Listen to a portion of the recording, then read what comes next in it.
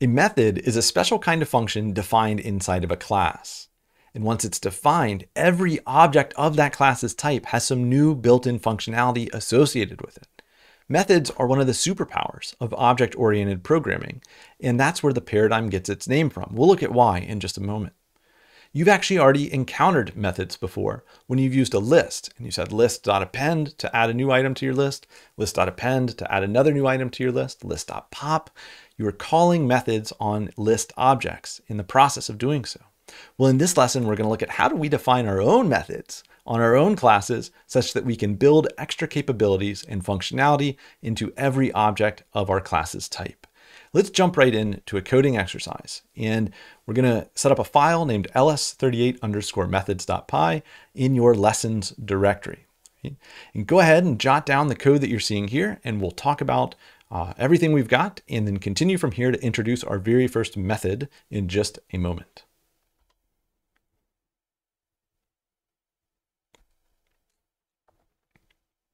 All right, so let's break down what we've got here on our screen, and hopefully you've had a moment to think about it. So we're starting out with the definition of a class named person. And this person class has two attributes associated with it, a name and an age. And age has a default value of zero. Next, we're seeing the de definition of a constructor function, right? Or a constructor method we'll see after this video.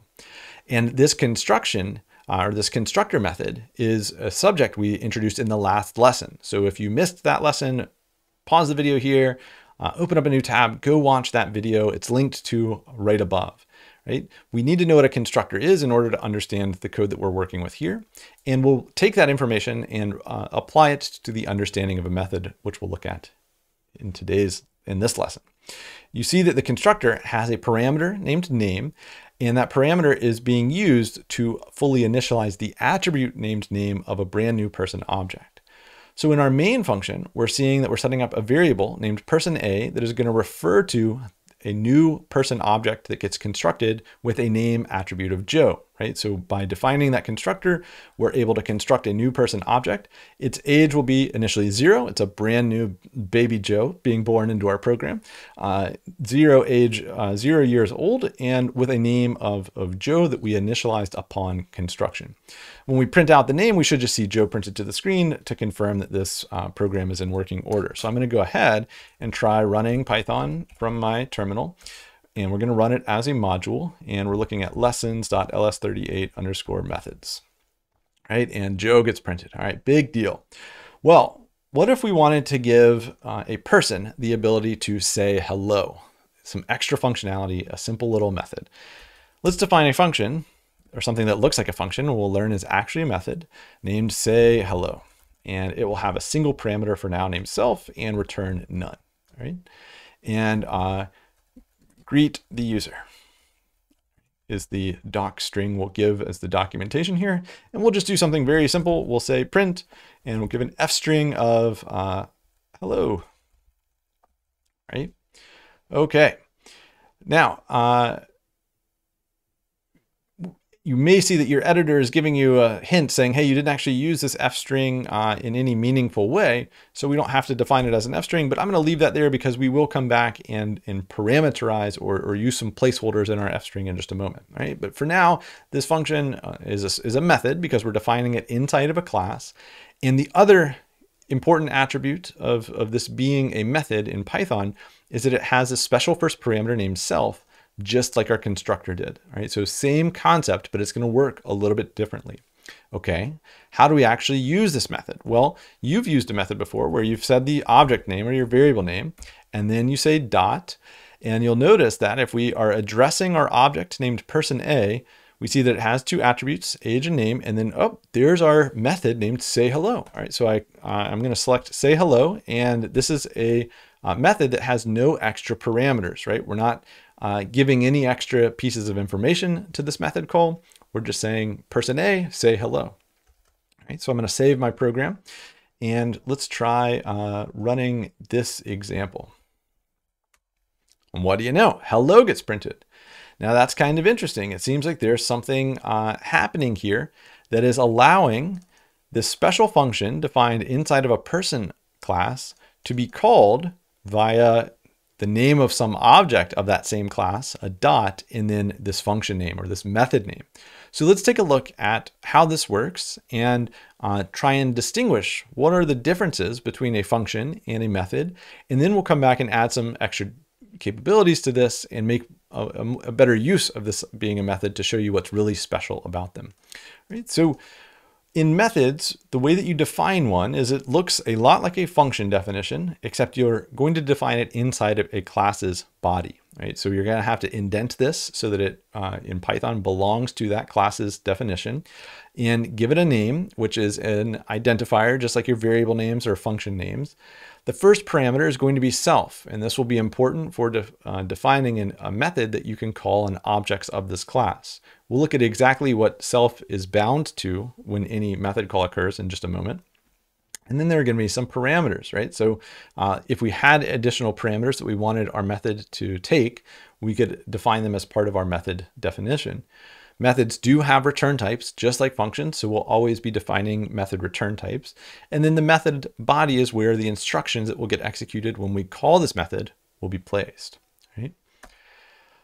Once we've defined a method on a given class, we can call that method by having an object available to us. So an object that's bound to say a variable name or that we're accessing in some other way, but a, a reference to an object followed by a dot, and then the method name comes after it with parentheses. And inside of those parentheses, if there were additional parameters defined, we would have to specify additional arguments here, just like any other function call, right? So this is uh, like a function call that's sort of special and has some extra capabilities. So if we wanted to compare, how do we think about a little function versus a method? Well, if we define a silly function, we could say uh, a function name say hello, as we're seeing here, and we would call it just by directly uh, using that function's name, say hello, and parentheses, right? Well, with a method, we're saying we're defining this inside of the context of a class's definition, right? And uh, we have to give this special parameter self, and we're not making use of that yet, but we'll see why it's important and why it's so cool in, in uh, another couple of examples. And then once we've uh, defined this method, we're able to call it by having a person object. And right now you're thinking, wow, doesn't this seem like a lot of extra work? Both of these examples required more code than just functions. Well, let's take a look at why methods are important in these next examples and uh, what are the real gains of using them and why are they important to the concept of object-oriented programming. So what I'd like you to try doing to get a feel for this before the big reveal of why they're so cool is go ahead and pause the video here and try following through the instructions on this slide. Update the say hello function to behave as you're seeing here and work a little bit differently, printing the object's name and then try constructing another person object in the main function so that you have two person objects with different names and try calling say hello from that object as well. Once you've got that running, unpause the video and we'll continue on uh, with this example. All right, so let's jump right back into it. The goal of this modification is to change the greeting that we're giving uh, or printing out to the screen as part of the say hello method. So hello, uh, if I wanted to carry over the exact example from the slide, hello, I'm, and then self.name. Name. Hello, I'm, and then we're using an f string placeholder here, self.name, right? So we're dropping in this expression and notice we're saying self, and then we're accessing the name attribute of self. And what we can kind of intuit from having previously defined a method named init is self must refer to this object, so name must refer to the attribute of a person object.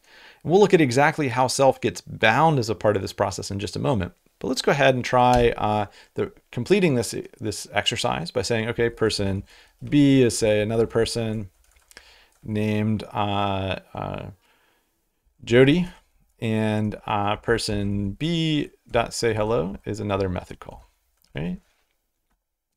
Now notice this, the method that we're calling on each of these objects is exactly the same. We're not giving it any different uh, arguments. In fact, we're not giving it any arguments at all. The only difference is which object we're calling that method on, right? So let's see if there's any impact when we go and run this, right? So I'm gonna clear my output here and, and let's take a look at this main function and keep the hello uh, method in display. So I run this again and notice it says, hello, I'm Joe. Hello, I'm Jody. And hopefully that kind of makes intuitive sense, right? Person A was the person we set up to be a person whose name attribute was initialized to Joe. Person A say hello, hello, I'm Joe. Same idea with person B. Person B dot say hello, hello, I'm Jody. Just to convince ourselves that nothing's changed with Joe, we can say person A dot say hello again. And uh, we'll see that sure enough, uh, Joe and Jody are two distinct objects in our program's memory. And when we call the say hello method on either of those objects, the outcome is slightly different, right? It's relative to the object we called the method on. So I'm going to go ahead and delete uh, that line so that we've got two say hello. Uh, and actually, I'm going to only, let's change this up for a diagram so that we can understand what's going on. And uh, for the purposes of this diagram, I'm going to have only one example uh, so that we only have a, a, few frames to reason through on my screen. All right. And let me see if I can get a little bit more of this to fit. Great. So how is it that self comes to be a reference to the person object whose name is Joe, right? We, we know that this is going to evaluate to Joe based on having tried running this program, but under the hood, what's actually going on and how does this work? Well, let's try tracing through this with a quick diagram. And I'm going to move through uh, the setup of the first parts of this diagram really quickly so that we uh, can jump straight to the interesting parts in just a moment. All right, I've gone ahead and set up the main frame, the globals frame, and then uh, the initialization or the construction of the person object whose name is Joe and has an age initially of zero or by default zero. There are a few steps involved in this. I would encourage you pausing the video, trying to trace to this exact same point, and if you have questions on how the construction frame works or the init method call uh, that happens as a part of the construction of this person object on line 20, then I would encourage watching the previous video and following through with its diagramming before continuing on here right? So this video is paused at line between lines 20 and 21. We're just about to go evaluate the method call, which is the focus of today's lesson. And if you haven't caught up yet, go ahead and pause here so that we can uh, work through the rest of this together.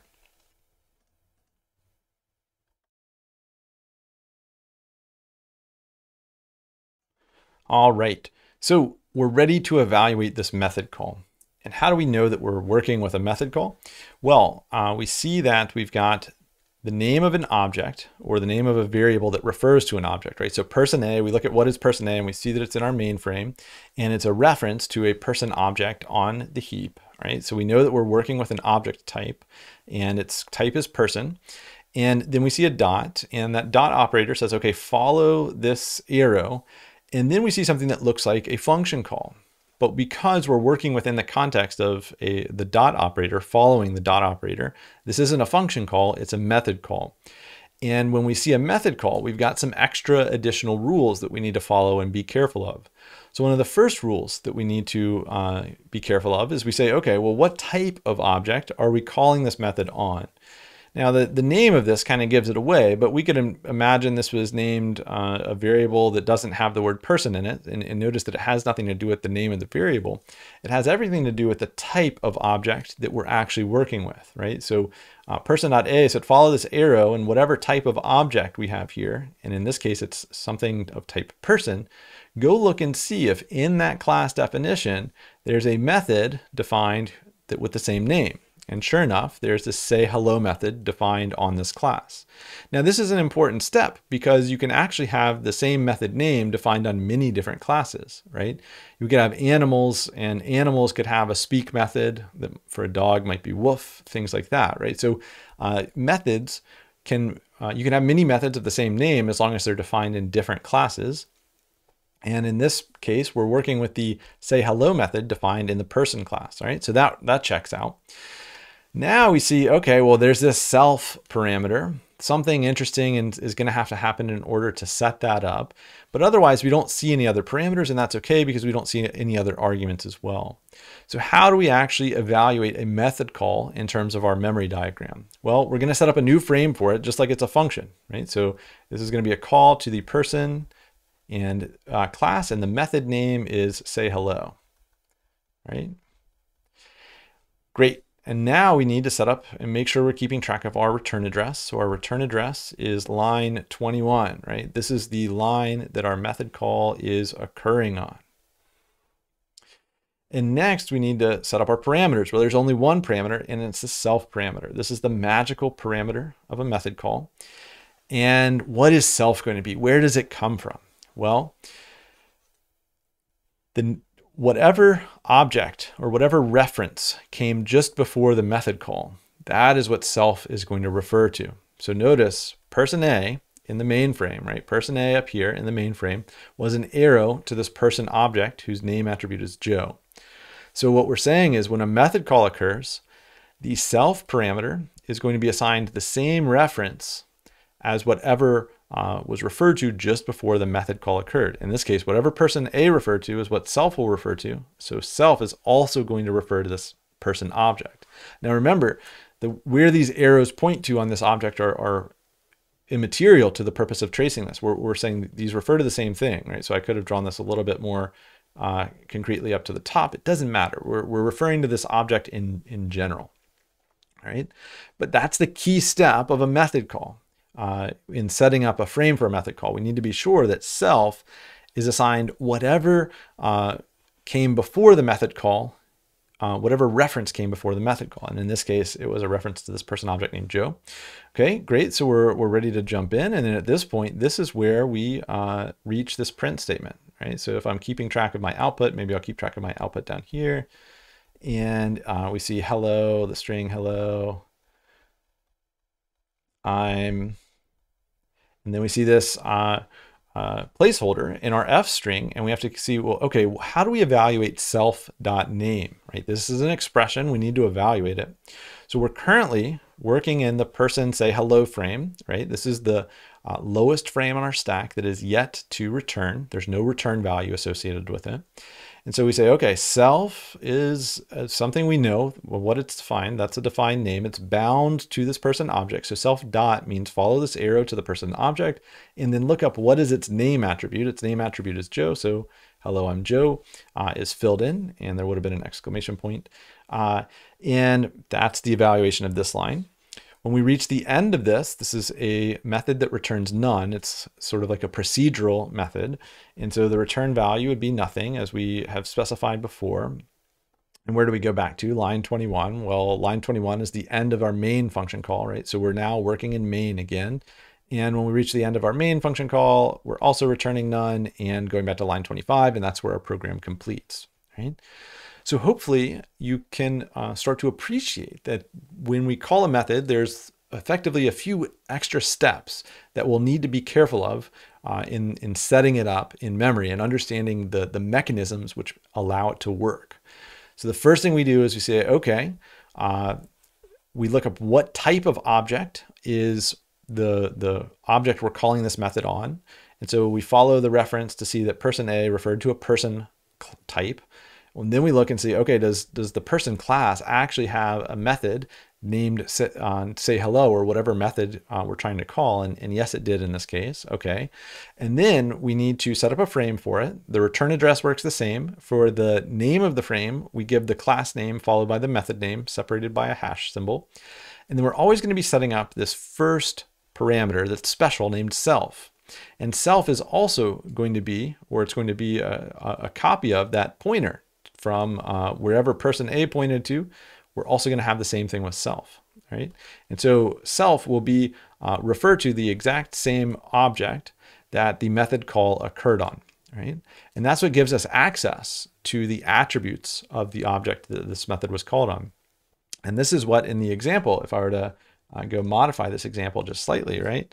Uh, so back to where we came from. So person B is assigned a new person object named uh, Jody and person B dot say hello. If we uh, imagine, I'm not gonna, uh, ooh, forgot to know there. Uh, uh, if we imagine that uh, this code was evaluating, and I'm not going to fully evaluate this, right? Because I would need to set up a frame for my constructor and then go set up another frame for the say hello. Um, but if we uh, do kind of imagine that somehow, like we know that this construction would result in another person object, and I'm skipping over the frame for initializing this, but there would be a constructor frame for this, and it's the name Jody, and the age also zero, right?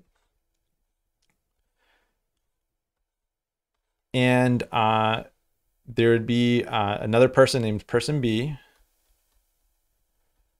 in mains frame, right? So let me actually change colors here, see if I can uh, make this a little bit easier to read. So let's try, let's try orange, right? So person B would refer to this person object named Jody, and there would have been a frame for the constructor. Now, when we reach this, can this method call, notice that person B refers to a different object. So if we were to think about uh, the say hello frame that would come after these other frames, itself would no longer reference the person object with name Joe, it would reference the person object with name Jody.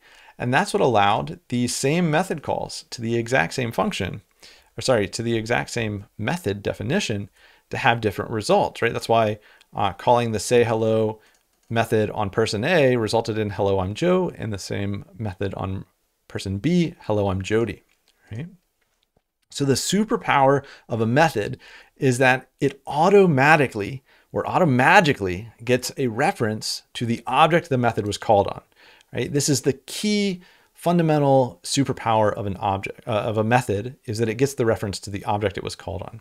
So a person dot say hello, the object reference is whatever a person refers to, and the method being called is say hello. So uh, self would be bound to whatever uh, object a person was bound to. Right? When the method call evaluates, that object reference is automatically assigned to the self parameter of the method definition when you jump into it.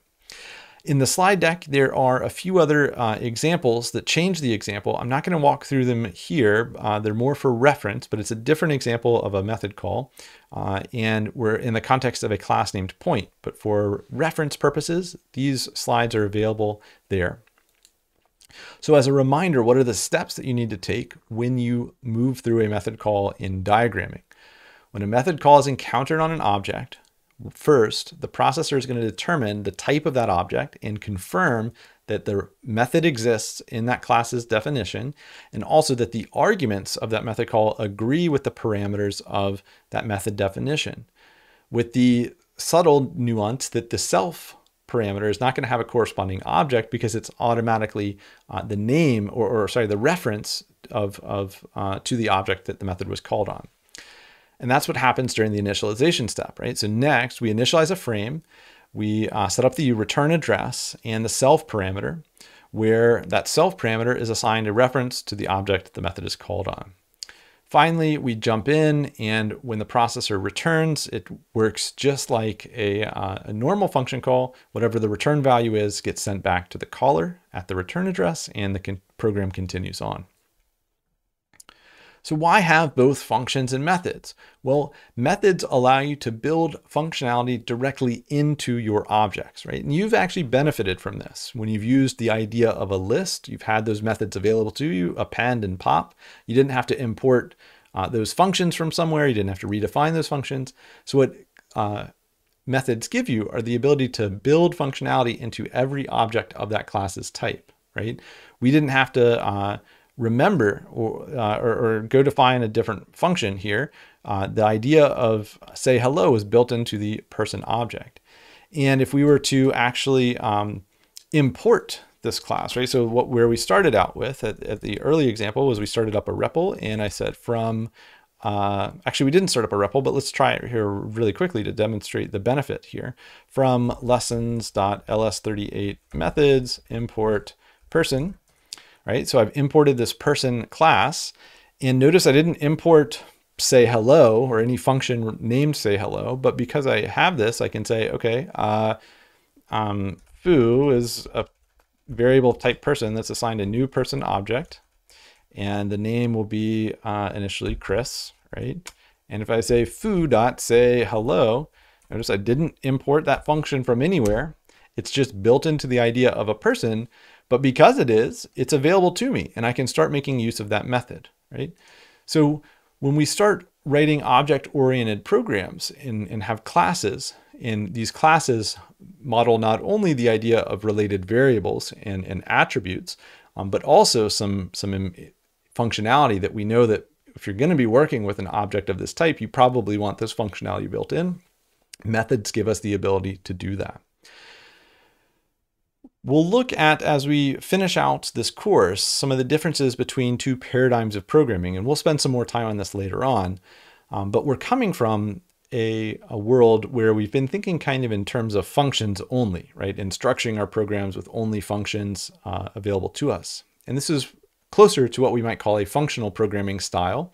And what we're doing in this unit is looking at, well, what if we reoriented the way that we sort of frame some of our problems and model our problems around our objects and use an object-oriented approach. Both of these approaches are equally capable, um, but some types of problems are better suited for one style versus another. So when you're using functional style programming, uh, there's in your processing data, like we just did in, in some previous in the previous project, your data processing uh, problems often work very well with you know stages of, of subsequent function calls doing carrying out different operations on your data and linearizing it in that way.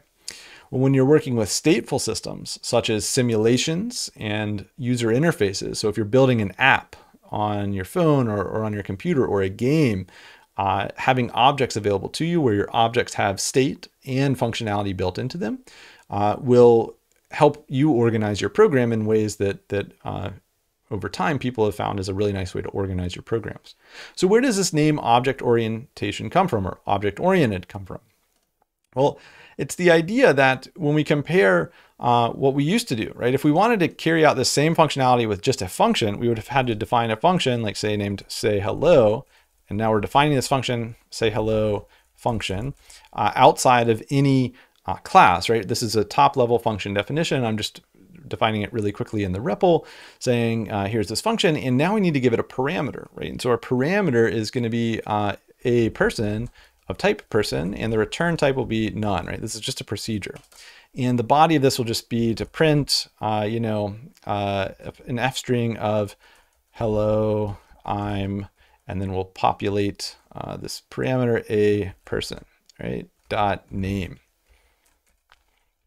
right? And there's my function definition. So now I can say just a plain old function call, say hello function, and I give it that person object we set up named foo, whose actual name attribute is Chris.